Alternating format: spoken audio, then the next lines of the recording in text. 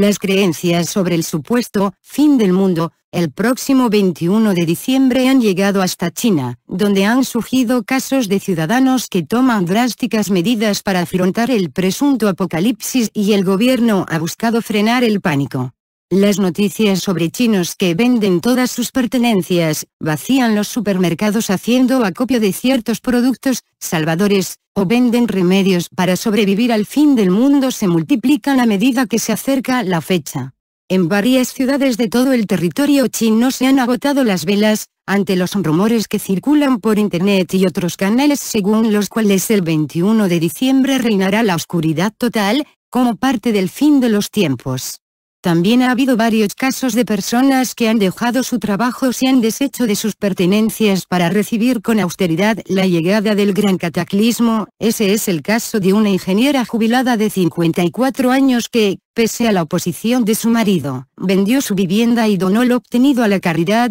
en Nanking, provincia este del país. Otros se han afanado en diseñar artefactos que les puedan salvar del apocalipsis, como un padre de familia en Hebei, al norte de China, que ha construido tras meses de esfuerzos y una millonaria inversión, un arca de acero que en su interior puede transportar a 14 personas y resistir los embates de un tsunami o terremoto. Más trágico es el caso de Min Yong-hun, un hombre de 36 años que el 14 de diciembre irrumpió en una escuela de Henan, al centro del país, e hirió a 23 niños con arma blanca, según la policía, se encontraba trastornado por los rumores sobre el fin del mundo. Tras conocerse este último caso, las autoridades chinas han iniciado una campaña contra la difusión de rumores sobre el fin del mundo por parte de algunas sectas y cultos, que por ahora han llevado a la detención de 101 personas en varias zonas del país, especialmente en la provincia de Qinghai, habitada por tibetanos.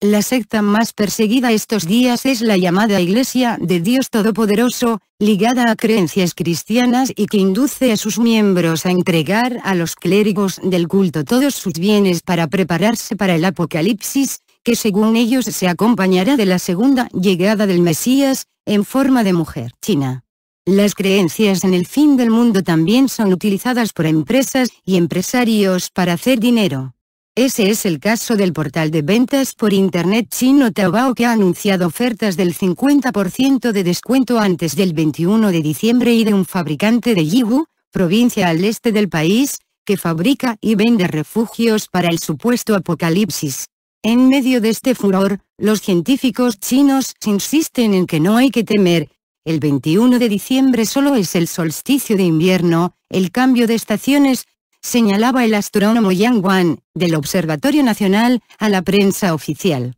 En el último año han aparecido algunos teóricos que señalan que la civilización maya predijo el final del mundo el 21 de diciembre de 2012, otros apuntan que esa fecha simplemente representa el final de un ciclo y evoca el comienzo de una nueva época terrestre.